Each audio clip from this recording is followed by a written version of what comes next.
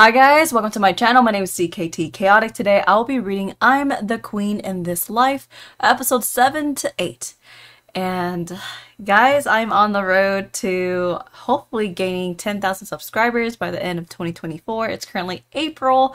So if you guys can, I would greatly appreciate it if you guys can subscribe, share, like, and comment on this video. And of course, share my other reads if you guys enjoyed the way I, you know, react and read these webtoons. So we're almost there. I'm currently at 6,000 subscribers, so I'm so excited but if I can get anywhere close to 10,000, I will be ecstatic. All right, guys, let's go ahead and get started. Whew. According to the sacred scripture, Saint Gon of Chesarche is re revered for his two acts of marty martyrdom. As his first death as a martyr, he died a lonesome death, shunned by all those around him. However, he performed the miracle of resurrection and sacrificed himself once more to prevent a great cat catastrophe from befalling the realm. It was only then that Gon of Jer was praised by the people. The nobles of San Carlo enjoy church sermons that tell the fable of Saint Gon's second sacrifice. But today's sermon largely addressed his first sacrifice. In the language of Gallico Kingdom, Queen Margaret's homeland, I don't understand a single word is probably what they're thinking. Of course, Lucrezia hasn't an ounce of refinement in her entire body. And Isabella has only begun to learn Gallica recently. So that would be Queen Margaret. I've only ever seen her in portraits in my past life. But I can tell who she is by the dignified air she exudes. And that is how Saint Gon of Jersharche sacrificed himself for the salvation of the flawed human species, spoken in Gallica. I often ponder how he felt as he sacrificed his entire life for the immoral and selfish people of this world. And yet, the haves must always strive to use their wealth, status, and devout faith for the benefits of the have nots. This is a kind of virtue that man was not born with, but must pursue nonetheless. Amen. Amen. Amen. Oh. Huh?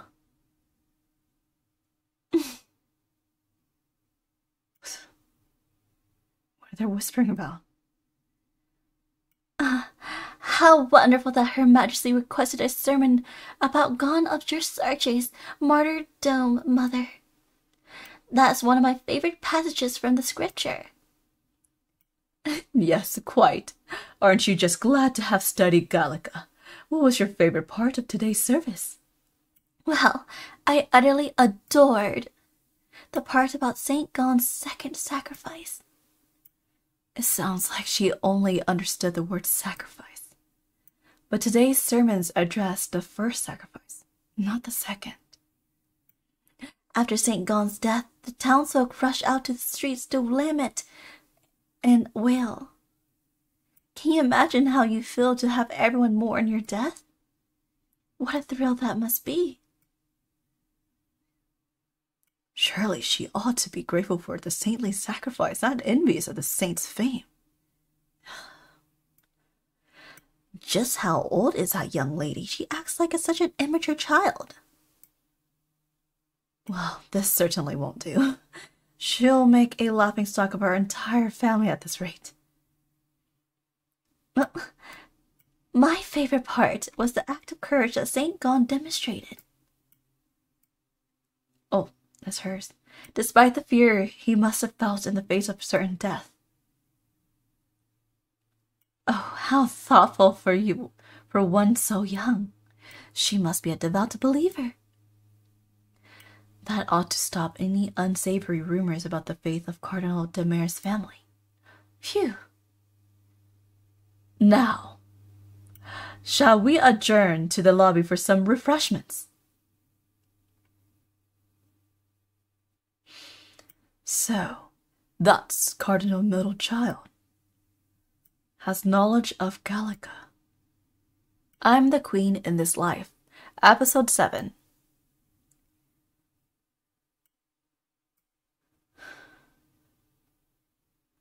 These fine ladies are the wife and daughter of Cardinal de Mare. I invited them today to make their acquaintance. Ahead of the upcoming state mass. Please take a seat.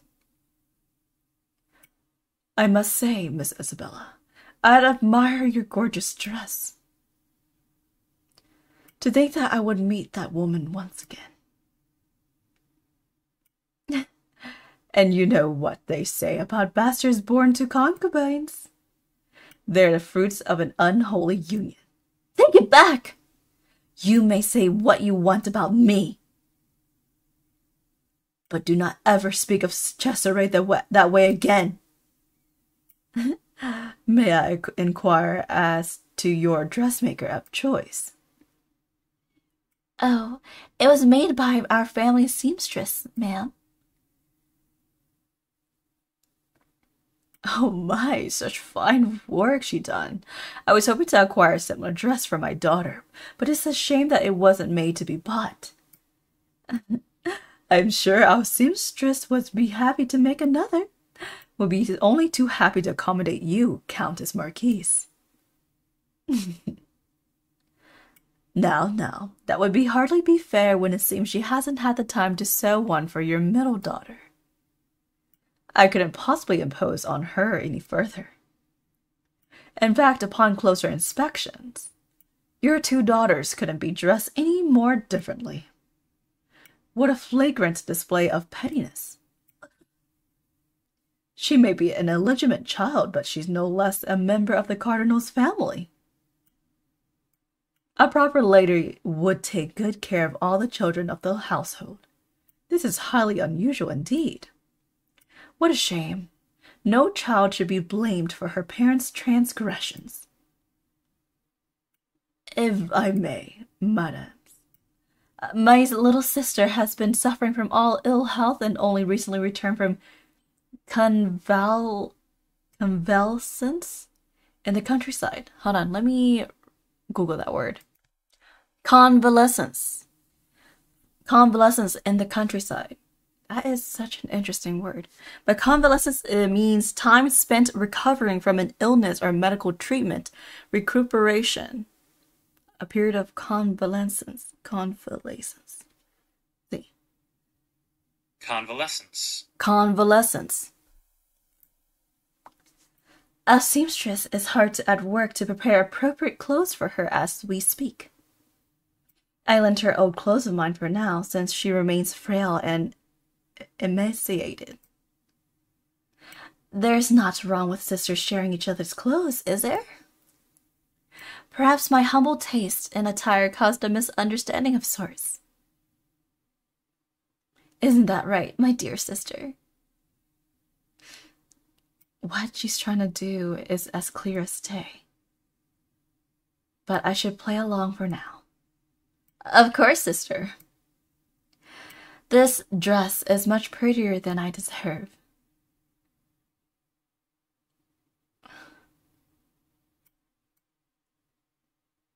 I had no idea that it was your old dress, but I've quite I've taken quite a liking to it. If I'm going to make a point, this is the least I can do to be heard. My goodness, look at her chemise. Chemise. What is these words? Oh, look, those stains are just like the ones on my kitchen maid's uniform. Oh, yes, quite. They're almost yellow from the stains. I wouldn't even let my maid wear those. Does Cardinal de Mare treat his daughter as lesser than a common maid? Uh, Miss Isabella, you said they were your hand hand-me-downs, did you not? well, that's, um... Silence, everyone. I have a question for the Cardinal's eldest daughter. About Miss Ariadne's Sh- oh my gosh, how you say it? Chemise? Chemise. Chemise. Did it once belong to you as well? Um, I, I mean, enough.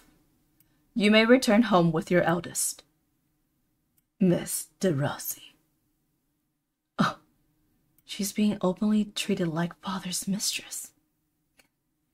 I hope you're feeling humiliated, Lucretia. On that note, escort the Cardinal's middle daughter and have her change into a proper chemise. Yes, Your Majesty. Pardon? Does she mean me? Clap, clap, clap. This is the way to the Queen's palace. As Cesare's fiancée, I became extremely familiar with the palace over the nine years that I stayed here. I wish I could forget all about him. But, huh? Oh. Greetings, Your Highness. Alfonso? Ariadne?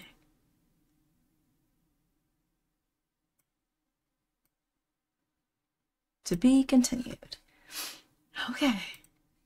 Sorry guys for mispronouncing some of these words. I never seen these words before, so I have to stop quite often to Google them. Alfonso? Ariadne? Hmm? Hmm. Alfonso, you're a prince? Oh, I mean, Mr. Mayor, have you no, no manners? This is the sole scion of His Majesty King Leo III and Her Majesty Queen Margaret. His Highness Prince Alfonso de Carlo. I insist you observe the proper etiquette. Matron Carla. There's no reason why the daughter of a cardinal ought to obey the queen's maid. Except Matron Carla is one of the queen's Margaret's most trusted personal attendants. In other words, the Queen will hear of everything that happens here.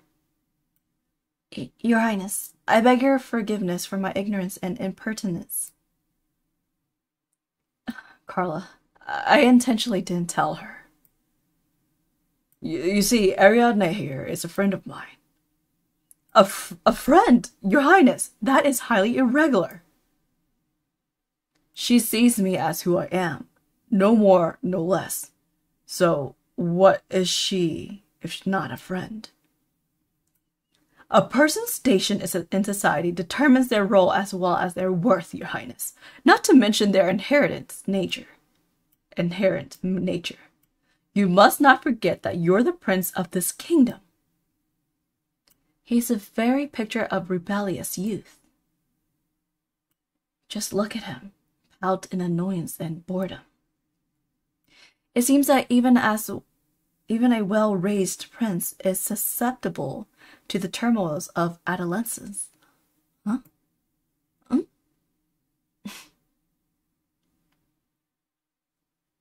uh, uh, Ariadne, come. Your Highness, where are you going? Your Highness!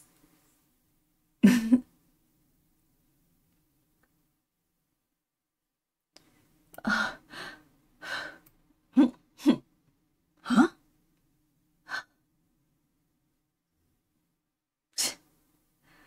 That was quite the reaction, Your Highness. Come now, call me Alfonso.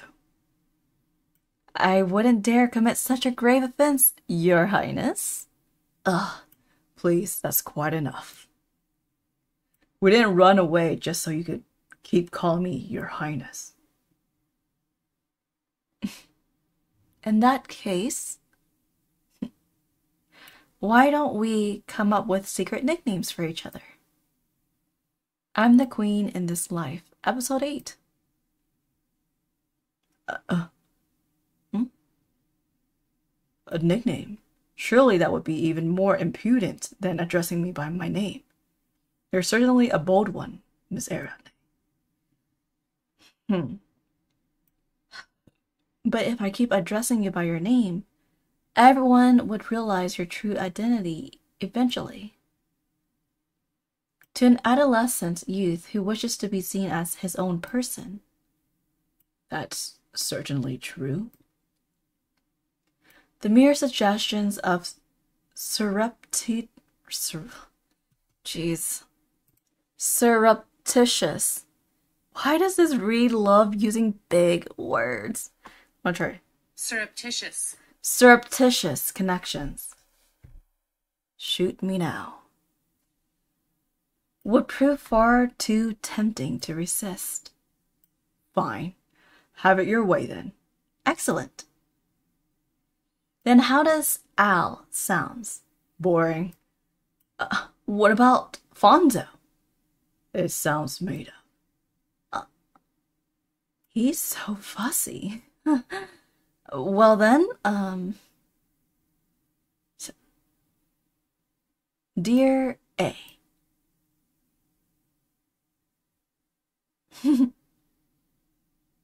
uh.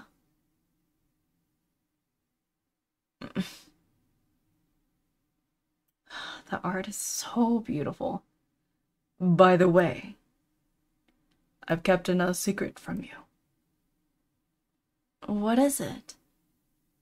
It's likely that my mother called you here today because of me. I told her about our encounter at Rambouillet. You see. Her Majesty is informed of everywhere I go and everyone I met. I imagine she was particularly intrigued that I met a young lady for once. He seemed so cheerful and carefree that I thought he was oblivious. But he has a surprising grasp of what's going on. Interesting. Of course, I realize that she watches over me from a place of care and concern. And yet, sometimes it feels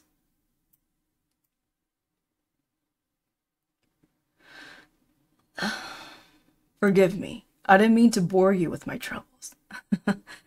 uh, let us change the subject. Hmm?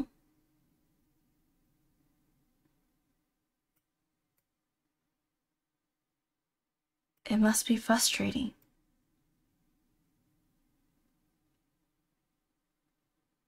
Uh, I'm sure Matron Carla must be looking for me. I'd rather avoid her wrath. It seems Her Majesty wishes to bestow a dress upon me. Until next time.